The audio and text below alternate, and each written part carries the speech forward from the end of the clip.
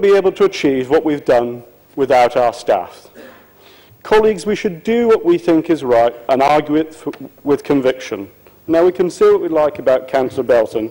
He's virtually always wrong, but at least he's got the courage of his conviction, however misplaced. One thing that he's certainly not...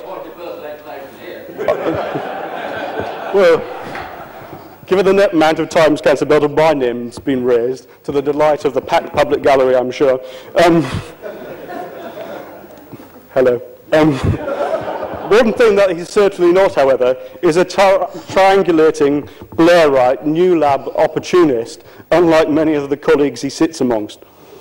Theirs is a party that used to be, uh, believe in levelling up. It now simply believes in tearing down. I would simply sum up this policy as penny wise and pound foolish. That doesn't mean to say that I think that what's been uh, put before you should be set in stone forever. There are certain aspects of it that could be more transparent and others that would benefit from further work. But actually, a one-page paper which says a comprehensive review, which has never previously been brought, is nothing more than a gimmick. That's why it's one page. I will be looking to make further changes. That's exactly what I believe the Conservative group would expect me to do. But those changes will be pragmatic. They'll be done with a mix of vision and a sense of strategic drive so that we adapt these policies to meet the future needs of our staff and above all our residents. Somehow to pretend that all our problems can be pursued by pursuing a small number of, highly, of the highly paid risks reinventing the illusionist policies of the 1970s. Colleagues, we have a very simple choice before us tonight.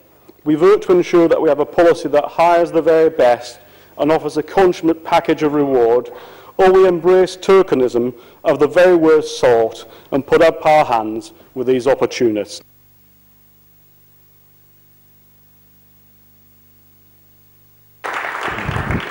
Thank you, Councillor Morritt. The motion now before the Council is the adoption of the recommendation in paragraph 1 of the General Purposes Committee report in relation to the pay policy statement.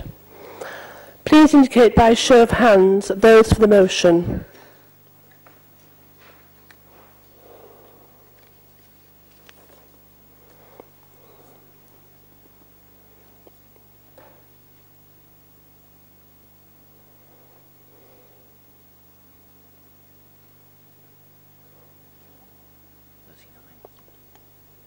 Those against the motion?